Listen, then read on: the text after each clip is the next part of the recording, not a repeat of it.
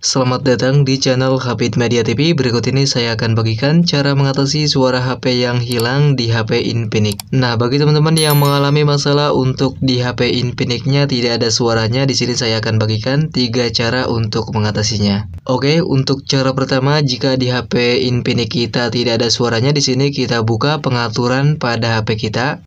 Dan jika sudah, kemudian kita klik bagian suara dan getaran ini.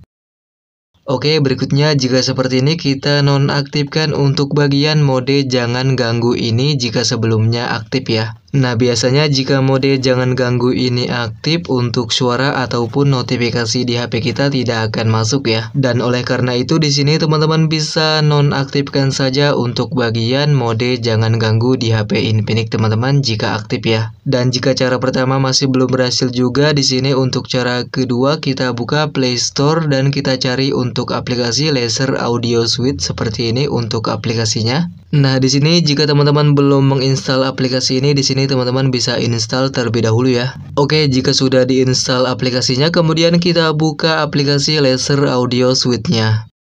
Nah, jika kita sudah masuk pada aplikasinya, kemudian di sini kita klik saja untuk bagian bacaan speaker ini ya. Dan jika kita sudah klik bacaan speaker, kemudian teman-teman bisa coba buka musik apakah untuk suara di HP Infinix-nya sudah ada atau belum. Nah, jika cara kedua masih belum berhasil juga untuk mengatasi suara HP yang hilang di HP Infinix. Nah, di sini untuk cara ketiga untuk mengatasinya kita buka Play Store kembali dan kita install aplikasi Airphone mode off seperti ini untuk aplikasinya. Dan jika sudah diinstal aplikasinya, kemudian kita buka aplikasi earphone mode off-nya.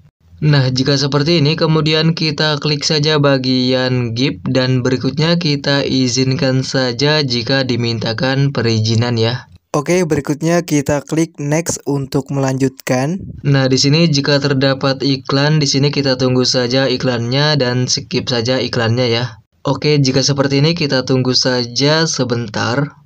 Nah, jika sudah seperti ini, kemudian kita klik bagian on off ini sampai berkali-kali seperti ini ya. Nah, di sini pastikan untuk bagian gambar musik ini kita on kan dan kemudian untuk bagian headset ini kita off kan ya. Dan jika sudah untuk mengecek HP kita sudah berhasil ada suaranya atau tidak, di sini kita klik saja bagian tes seperti ini. Nah, di sini teman-teman bisa coba apakah untuk di HP Infinix teman-teman apakah sudah ada suaranya atau belum ya. Oke teman-teman, itu dia tadi cara mengatasi suara HP yang hilang di HP Infinix. Sekian dan terima Terima kasih.